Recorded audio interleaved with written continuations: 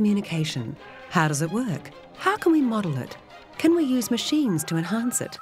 HCSNet brings together researchers from over 20 academic disciplines to explore how communication works.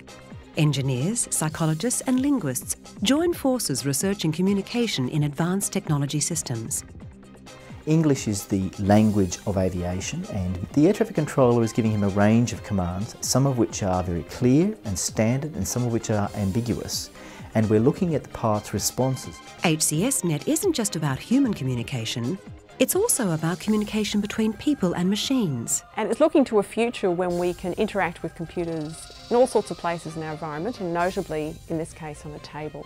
It's also called surface computing. We work with sociologists, with people in the medical sphere to see how we can put this into people's practice. Human communication science helps us build intelligent machines. I am an embodied conversational agent. Making virtual heads, talking heads, making them seem more natural and realistic.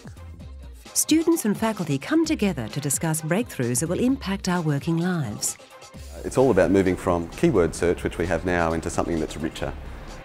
HCSNet also encompasses sonics, communication through sound and music.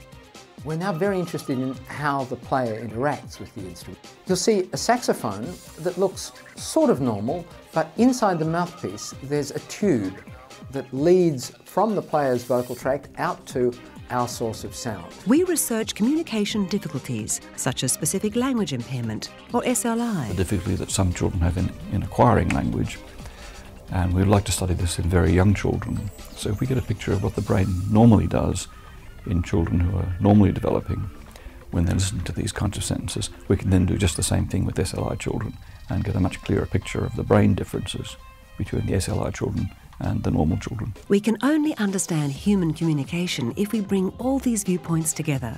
And that's what HCSNet does. Be part of it at HCSNet Summerfest in Sydney this December. If you're interested in human communication, come along to Summerfest. HCSNet is just a wonderful opportunity to actually present to a wide variety and a diverse audience. It's a wonderful place to meet uh, your peers. It's quite an informal atmosphere, often particularly at Summerfest. The speed paper sessions where we talk about our project and what we hope to do within the space of uh, four minutes. Summerfest includes workshops, speed papers, and summer school courses on reading development and dyslexia, data mining with Weka, an introduction to dialogue systems, and musical performance. Summerfest is free for undergraduates. To join HCSNet and find out about Summerfest, visit the website. HCSNet is a great, I guess you might call it, excuse to interact with people outside of your own discipline. See you at HCSNet Summerfest.